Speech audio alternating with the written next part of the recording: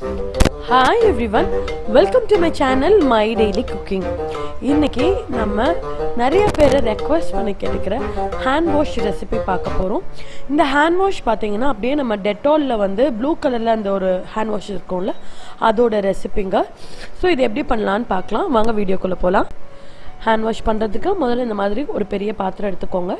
அதில் அறநூறு எம்எல் அளவுக்கு தண்ணி சேர்த்திக்கலாம். அதோட இருநூறு எம்எல் அளவுக்கு எஸ்எல்இஎஸ் அப்படிங்கிற ஒரு லிக்விட் சேர்த்துறோம். எஸ்எல்இஎஸ் பார்த்தீங்கன்னா எல்லா கெமிக்கல் ஷாப்லேயும் கிடைக்கும் ஆன்லைன்லேயும் கிடைக்கும். அதோட லிங்க் உங்களுக்கு வேணும்னா கீழே இருக்க டெஸ்கிரிப்ஷன் பாக்ஸில் நான் கொடுக்குறேன். எஸ்எல்எஸ் பார்த்தீங்கன்னா நம்ம ஹேண்ட் வாஷ்க்கு வந்து பேசிக்கான அந்த நுர வேணுங்கிறது வந்து எஸ்எல்எஸில் தான் கிடைக்கும். நல்லா விஸ்க் பண்ண பிறகு ஒரு மூணுலேருந்து நாலு ட்ராப்ஸ் வரைக்கும் ப்ளூ கலர் ஃபுட் கலரில் இதை ஆட் பண்ணிக்கிறேன். இப்போ நீங்கள் வீட்டில் தான் செய்கிறீங்க உங்களுக்கு வேண்டாம் அப்படின்னா நீங்கள் ஃபுட் கலர் அவாய்ட் பண்ணிக்கலாம். இதோட அஞ்சு எம்எல் அளவுக்கு கிளிசரினை சேர்த்துக்கலாம். கிளிசரின் வந்து பார்த்தீங்கன்னா நம்ம கைக்கு நல்ல ஒரு மிதிர்வ மிதிர்மையான ஒரு தன்மையை கொடுக்கும். அதோட கொஞ்சமாக வந்து விட்டமின் இ ஆயில் ட்ராப்ஸ் கொடுக்கும். சேர்த்திக்கலாம். அது வந்து நம்ம கைக்கு திருப்பி ஒரு நல்ல ஒரு மாய்ஸ்சரைசிங்காக செயல்படும். இதோட க்ளோ ஆயில் ஒரு நாலஞ்சு ட்ராப் சேர்த்துக்கலாம். இது ஆப்ஷனல் தாங்க. எசென்ஷியல் ஆயில் எல்லாமே ஆப்ஷனல் தான். டீ ட்ரீ ஆயிலும் கொஞ்சம் சேர்த்துக்கிறேன். க்ளோ ஆயிலும் டீ ட்ரீ ஆயிலும் வந்து நல்ல ஒரு கைக்கு வந்து ஒரு ஆன்டி ஆக்சிடென்ட் ப்ராப்பர்ட்டிஸை கொடுக்கும். இதோட ஒரு மூணு எம்எல் அளவுக்கு பர்ஃப்யூம் சேர்த்துக்கலாம். நான் லாவெண்டர் பர்ஃப்யூம் இதில் சேர்த்துருக்கிறேன். உங்களுக்கு நீங்கள் எல்லா எசென்ஷியல் ஆயில் ஆட் பண்ணுறீங்க அந்த ஸ்மெல்லே பிடிக்கும்னா நீங்கள் பர்ஃப்யூம் கூட அவாய்ட் பண்ணிக்கலாம். இது எல்லாத்தையும் கலந்துக்கலாம். இப்போ பார்த்தீங்கன்னா இது அப்படியே தண்ணி மாதிரி இருக்கும்.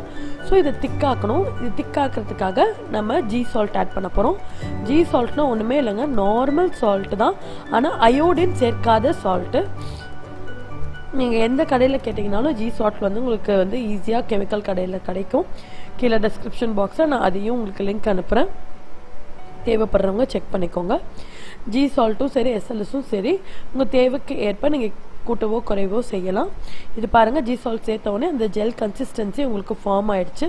பட் இன்னும் அது வந்து கிளியராக இல்லை. ஏன்னா வந்து நம்ம நல்லா அடித்ததுனால அதோட நுரை வந்து அப்படியே இருக்குது. இதை நீங்கள் ஒரு பாட்டில் இந்த மாதிரி ட்ரான்ஸ்ஃபர் பண்ணி வச்சுட்டு ஒரு ஒரு ஆறுலேருந்து ஏழு மணி நேரம் கழித்து பார்த்தீங்கன்னா கம்ப்ளீட்டாக நுரை எல்லாமே அடங்கி நம்ம கடைகளில் வாங்கக்கூடியதான நல்ல ஒரு கிளியரான ஹேண்ட் வாஷ் நமக்கு கிடைக்கும். ரொம்ப ஸ்குவீஸி க்ளீனுங்க நம்ம ஹார்ஷ் கெமிக்கல்ஸ் எதுவுமே இதில் போடல. எஸ்எல்ஏஸ் மட்டும் நல்ல பிராண்டடாக நல்ல கம்பெனியாக பார்த்து வாங்கிக்கிட்டிங்கன்னா எந்த ப்ராப்ளமும் கிடையாது.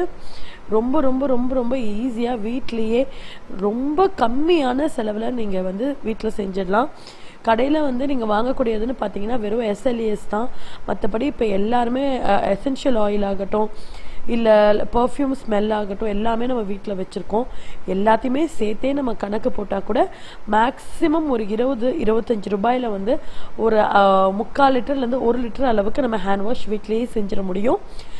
நீங்கள் இது சேல் பண்ணால் கண்டிப்பாக நீங்கள் வந்து ஹண்ட்ரட் பர்சன்ட் மார்ஜின் எடுத்துக்கலாம். ஸோ நீங்கள் கண்டிப்பாக ட்ரை பண்ணுங்கள் சேல் பண்ணலைன்னா கூட உங்கள் வீட்டில் நீங்கள் செஞ்சதை நீங்கள் யூஸ் பண்ணுறப்போ அதோட திருப்தியே தனி தான் அது மட்டும் இல்லாமல் இது அவ்வளோ அருமையாக இருக்குங்க. கை அவ்வளோ ஸ்குவீஸி க்ளீனாக இருக்குது அதே சமயம் மாய்ஸ்சரைஸாகவும் அருமையாக இருக்குது கண்டிப்பாக உங்கள் வீட்டில் இதை ட்ரை பண்ணிவிட்டு எப்படி இருக்குன்னு உங்களோட ஃபீட்பேக்கை கீழே இருக்க கமெண்ட் பாக்ஸில் எனக்கு அனுப்புங்க. மறக்காமல் என்னோட சேனலுக்கு சப்ஸ்கிரைப் பண்ணுங்கள் பக்கத்தில் இருக்க நோட்டிஃபிகேஷன் பெல் பட்டனையும் கிளிக் பண்ணுங்கள் அப்போ தான் ஒவ்வொரு தடவையும் நான் ஒரு வீடியோ போடுறப்போ உங்களுக்கு நோட்டிஃபை ஆகும். நன்றி.